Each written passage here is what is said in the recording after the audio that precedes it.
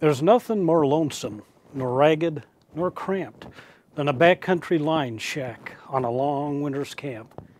But that was a choice made by old Miller Ty, who worked as a writer for the Too Lazy Y.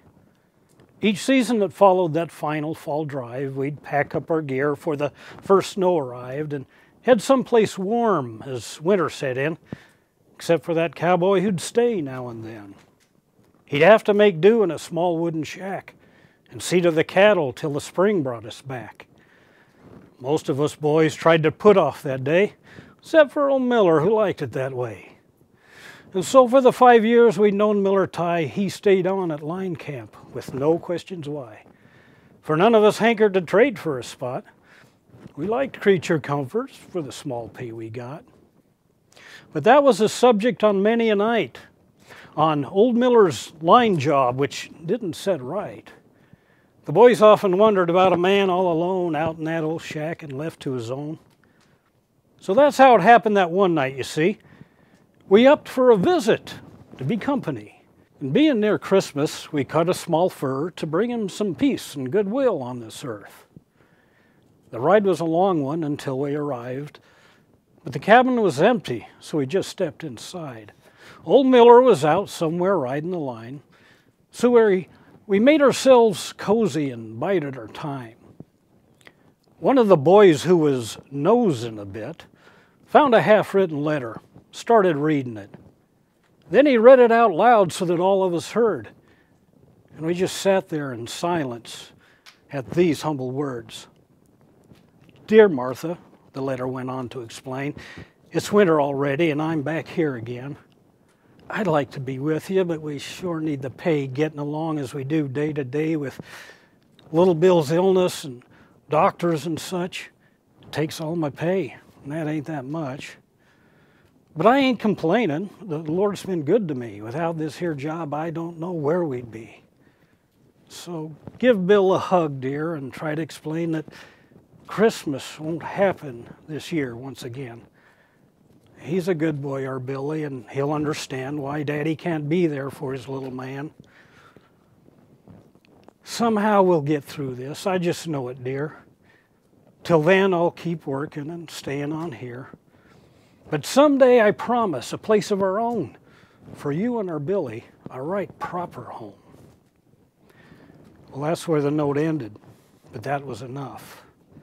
Five years on a line camp, and times had been rough. Five years every winter out here all alone. Five years without family or Christmas or home. Well, things might have stayed silent, but old Bucky said, Best saddle up, boys, we got a long ride ahead. So we left without letting them know we were there, packed up our gear, and left his note on the chair. And we didn't say much on that ride back to town as the snow softly covered our tracks on the ground. And when we finally sat down at Omar's saloon, a silence had filled each man in that room. We just sat there a long time, each lost in his thought, till Louis remembered some lumber he'd bought, and roofing, and nails, and other things too. Then each of us boys threw in things we could do. A whole plan was laid out by dawn's early light with just one little detail to do the thing right. The owner, old DK, would have to agree. And he weren't the type to do nothing for free.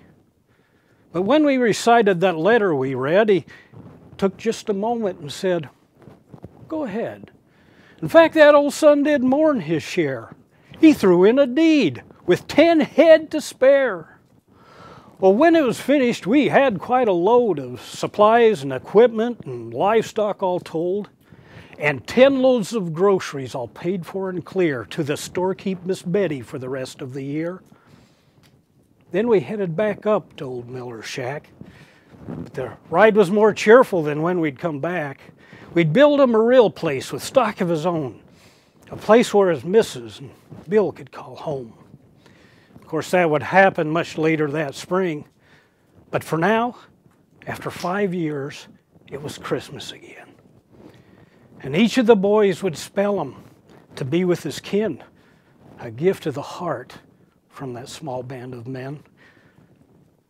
Well, we found Miller Ty when we arrived, but he sort of fell silent with tears in his eyes.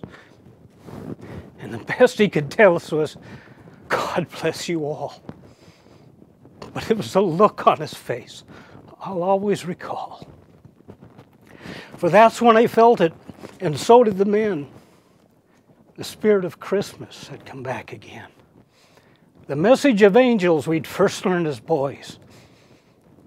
Behold, we have brought you glad tidings of joy.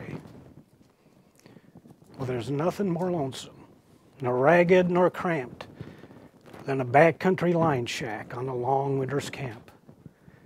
Except for that cabin on the Too Lazy Y that's home to that family and their son, Billy Ty. God bless you and Merry Christmas.